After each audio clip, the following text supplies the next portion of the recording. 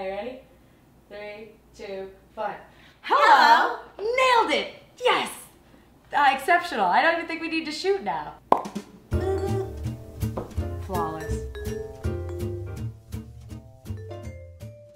I spent this entire morning watching soldiers coming home to their dogs. Oh my god, I watched it. I just, It's brutal. I literally was just laying in bed, just gently weeping as I ate my breakfast, just watching soldiers coming home to their dogs. Sometimes I can't. My heart can't. My mother sent me something, and the subject line said, Elephants reunite after 20 years. And I was like, delete. So my own heart can't take it. I can also Google for hours unlikely friendships, unlikely animal friendships. Like friendships. a goat and a donkey. Oh my god, a turtle and a dog. Sarah Silverman and Hannah Hart.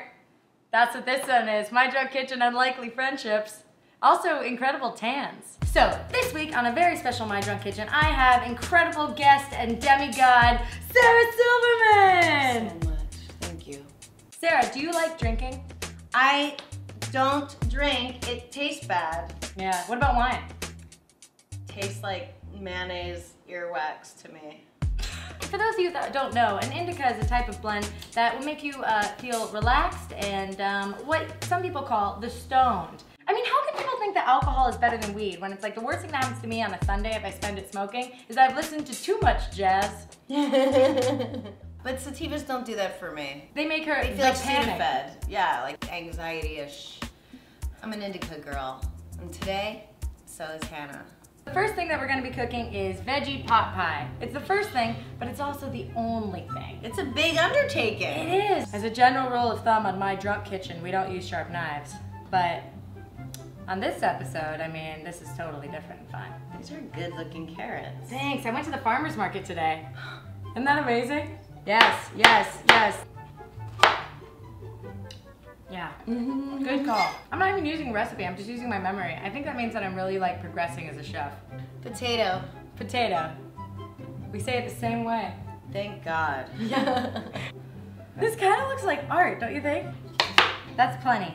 Really? Yeah, Oh, really. You know what you're doing. I think because like I'm smoking Mm. instead of drinking, it's just so much easier than I ever thought. I find that pot, if it if it's if it's your cup of tea, is really good with the muscle me- memory stuff. Because I like to smoke it when I play basketball, and I get I'm either terrible or I get into a crazy zone, and my arms extend. I can feel them. I hear myself saying things like "not on my watch." Nothing but baskets. Are you a vegetarian? I'm a vegetarian. I eat cheese because I'm an American. Yeah. Look at these three even piles.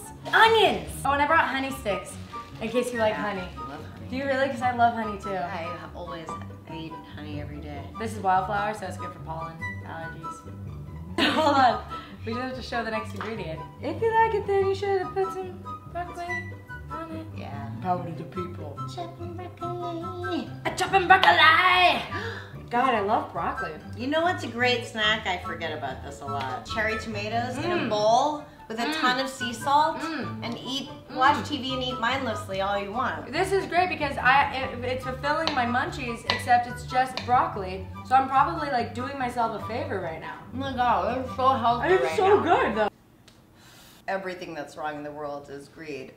One thing I've learned is you can't go back. If you take that one puff too many and you get into like a Weird. spiralish zone. Take Yeah. a puff every once in a while, make it a treat.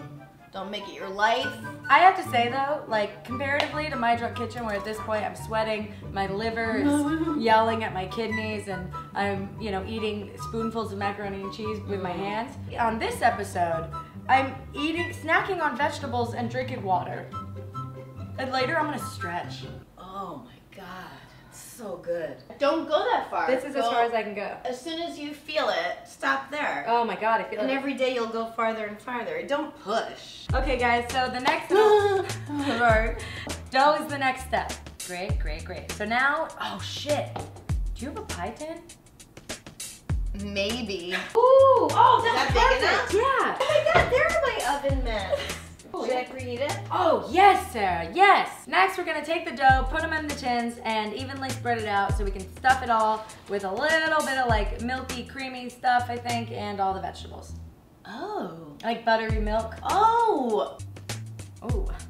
So guys, you see all of our wonderful, beautiful ingredients. Um, we almost have, if we had celery, we'd have a mirepoix of carrots, celery, and onion. But instead we have potato for stuff and other things also. Oh, and kale because, you know, Kale. what doesn't kill you only makes you stronger. wow, that looks like real food. But it needs like butter. Is that good or did I should I not push it on there? I think that's amazing. We're gonna put this in the oven and then we're gonna hang out and I'll see you when we get back. Oh my god, it's just like Oreo brownie. It's like what if you took Oreos, um, combine them with whipped, whipped cream cheese? Whipped cream cheese. No, just cream cheese. Mmm. Wow. Wow! Look at that! Look it at looks that! a little bit like um, that looks like chicken pot pie. It does. Cheers, guys. Mmm. Oh my god. This is like real food. Mm-hmm. We should start a food chain. And we just make different pot pies. That's the only thing the restaurant serves is like variations of pot pie. If you really did it and followed through, that'd be incredible. Mmm. Mmm. And then also just like adding another carrot. Just more vegetables. What's one thing you would tell your 13 year old self today? Oh, brush your teeth and floss your teeth every day. I did though, I'm good. Yeah. Death creeps in through the gums. You don't realize that, you're doomed. Thank you so much for watching. Thank you so much for hanging out. And, and thank you so much to Sarah Silverman for being absolutely lovely and wonderful and making a beautiful pot pie with me. Totally. And then making a franchise plan, which for new videos every Tuesday and Thursday, you can subscribe to find me here. And for more Sarah Silverman, go and check out her new short and hilarious piece of comedy art. Truly revolutionary. Cops, what? That was close. Cops come, dicks, and flying. It's a it's a haiku almost.